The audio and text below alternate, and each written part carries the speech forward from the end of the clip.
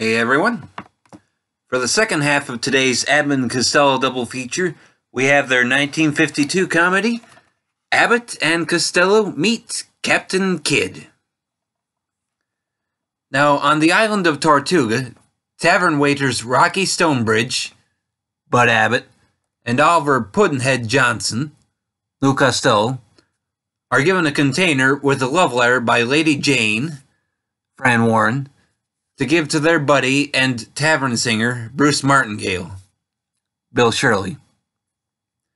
Now, at the tavern, Oliver has to wait on Captain William Kidd, Charles Laughton, who is meeting with his rival, Captain Bonnie, Hilary Brooke. Captain Bonnie is accusing Captain Kidd of stealing jewels from her territory and is demanding that he split the treasure with her. While he's waiting on them, Oliver accidentally gets the containers for the treasure map and Lady Jane's letter mixed up and ends up with the map. Rocky senses an opportunity to get in on the treasure, although it almost gets them both into trouble. However, Captain Kidd is forced to bring them along since they he did manage to hide the map successfully. Now, before sailing off to Skull Island, Captain Kidd shanghais a number of men into service on his boat a group that includes Bruce. Now, on the trip, both Captain Kidd and Captain Bonnie attempt to get the map from Rocky and Oliver without success. At one point, Captain Kidd and his crew attack another ship, and wouldn't you know it, Lady Jane is on that ship. Now she is captured and taken along as a prisoner. Now, once they reach Skull Island, Rocky and Oliver have to help find the treasure before Captain Kidd double crosses both them and Captain Bonnie. Can they escape his clutches and still end up with the treasure? Now, for Bud and Lou, their contract with Universal allowed them to try doing some independent films here and there.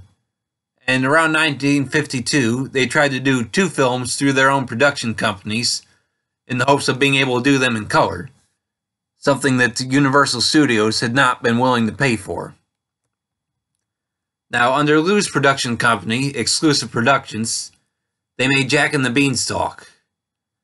For Bud's company, Woodley Productions, they made Abbott and Costello meet Captain Kidd.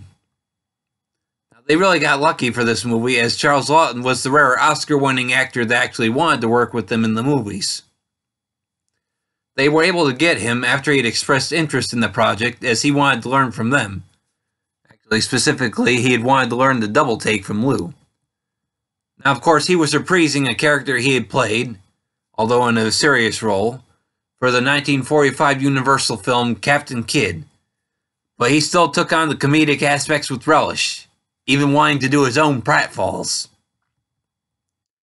Now, for me, this movie is a lot of fun and one of those I probably don't watch it as often as I should type of movies. The way I like it. Bud and Lou are fun here, that's certainly not in doubt. And Lou gets to do the one handcuff routine with Charles Laughton, which is hilarious. Plus, we have the scene early on where Charles Laughton, Hilary Brooke, and Lou all eat a meal that accidentally had a bar of soap mixed into it. And thus they are all blowing bubbles as they speak. Admittedly, I think the bubbles are all anime, but honestly, who cares? Then there's Bud and Lou's attempts to dig up the treasure and how they keep getting in each other's way. I would say that Charles Laughton keeps up with them and almost manages to steal the picture from them, with my favorite moment from him being near the end of the movie as his character is a bit more loopy, especially ha after having had to deal with all of Lou's character's antics. Whole scene there just breaks me up every time. Sure, this movie does veer back into musical territory with mostly forgettable music, plus the side romance really not quite working, and quite frankly, the only purpose it serves is the letter, which Hilary Brooke's Captain Bonnie assumes was written to Lou's character, which is amusing in and of itself. But for me, these are minor issues. All in all, I think this one is a fun film and far better than most of the boys' Universal output this time, so it's an easy thing for me to recommend this movie.